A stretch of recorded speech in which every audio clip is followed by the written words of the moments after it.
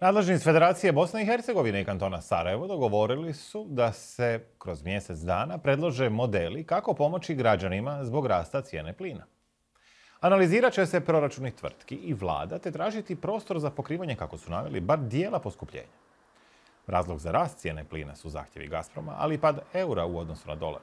Pokušat će se osigurati i prostori za skladištenje 3 milijuna kubika prirodnog plina u mjestima Kladanj i Butile. Nećemo mi do 22. spavati.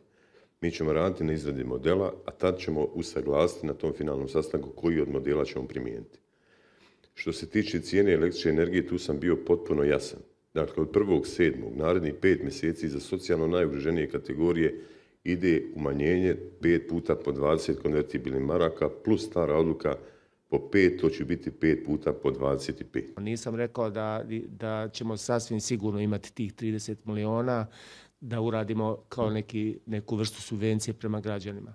Ali ćemo dati sve od sebe da ublažimo ove udare na budžete. Sveže informacija iz Sarajeva se javio kolega Nihat Sadiković.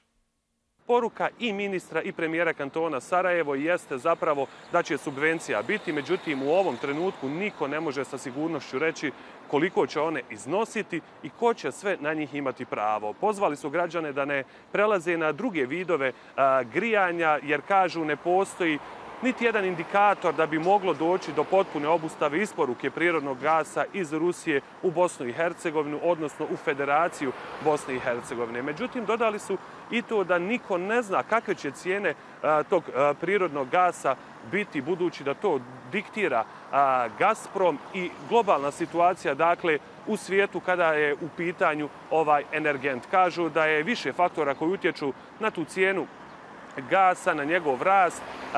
osim dakle, te globalne situacije, riječ je i o lošem odnosu eura prema dolaru, zbog čega ti troškovi konstantno rastu. Iz kantonalne vlade u Sarajevu najavili su hitno zasjedanje, razmatranje, analize i kazali da oni nemaju dovoljno novca kako bi pokrili ovo zadnje povećanje cijene prirodnog gasa koje je federalna vlada odobrila Energo Investu od više od 23%. Kažu da bi to do kraja grinije sezone značilo oko 15 miliona eura koje kantonalna vlada u ovom trenutku nema.